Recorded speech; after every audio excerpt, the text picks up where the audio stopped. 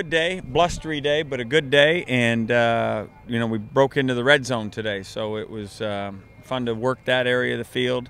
Uh, like always, when you install things, uh, there's a little roughness that goes with that. But uh, overall, I thought it was a pretty darn good uh, football practice. And I know the guys are excited about uh, getting to scrimmage on Saturday. Hopefully, we'll have a great day.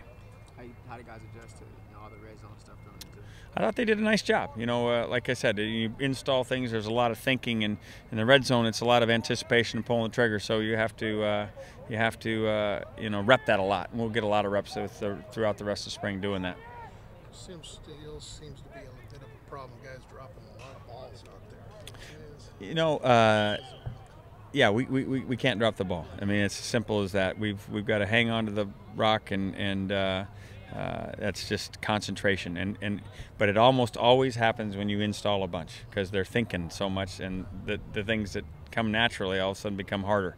But uh, as we get more comfortable it, that will dissipate. Anything else drill wise you could add to... uh, we got this jugs machine that was going to be humming right now and all those guys who missed one ought to be there. So uh, hopefully we'll uh, that's the punishment. that's the punishment. Exactly right. Hopefully we'll uh, we'll correct that quickly uh, just uh, rolled his ankle, I think, precautionary. I'm hoping that he'll be ready on Saturday. Anything that stood out um, in terms of the red zone as far as guys grasping quicker than you thought, maybe?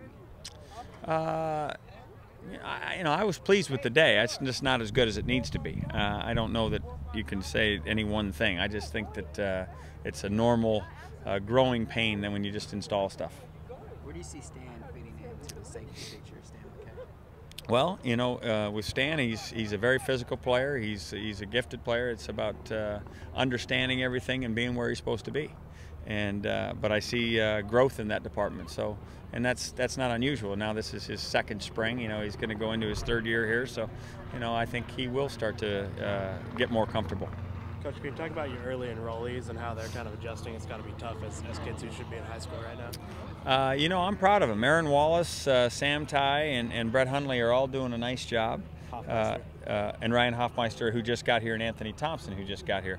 Anthony and Ryan are, are, are the ones that uh, are, are kind of submerged because they, they didn't get to go through an off season. They're just trying to learn guys' names, figure out where the classes are, all the different things that go along with your first quarter on campus. Uh, but uh, I think uh, all five will be very productive players here in time. Coach, your thoughts on uh, Richard making the full commitment Well, I, uh, you know, Richard is uh, a good quarterback, and he know he wants to be better than good. And and to do that, you have to, in in, in kind of submerge yourself in it. It's just too much to know at that position.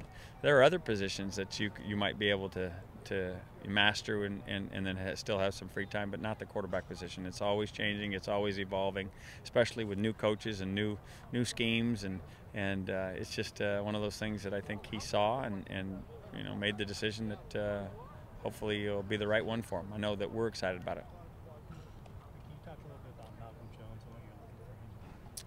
You know, I think Malcolm's uh, a terrific back. Uh, he played early in his career when probably didn't know as much, probably wasn't as comfortable, and uh, with the speed of the game, especially in the pass protection department. And you know, I think uh, he's going to just grow and grow. I mean, still just a freshman, he hadn't got to a sophomore year yet, but uh, we see great, great upside for Malcolm. How will you look to work Kevin Prince into a little more? You know what? He's going to work this post practice right now uh, in the throwing. I, to tell you the truth, I completely forgot that he was available today. He came up and I looked at him. I said, you got to tell me, you got to remind me, but uh, we won't miss that opportunity again. He'll get some real seven on seven. We'll have some seven on seven before the scrimmage the other day, and I might give him all of it just to get him uh, some reps and get ready to rumble. So he, he is cleared to go seven on seven. Seven on seven, yes. And we'll see that Saturday. We'll see him some some reps in seven on seven on Saturday. Yes. Got an idea how many plays you're going to go? As many as we can. You know, it really goes to the health of the team uh, we'll see where we are in our offensive line. I got dinner reservations. Well, I won't keep you. We won't do that to you. Anybody else? Chris Foster leading the Masters? Is anything like that? No.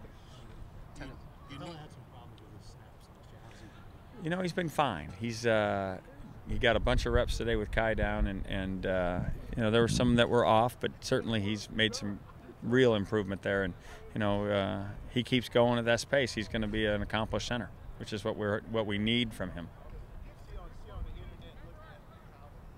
Everybody good? All right, thanks.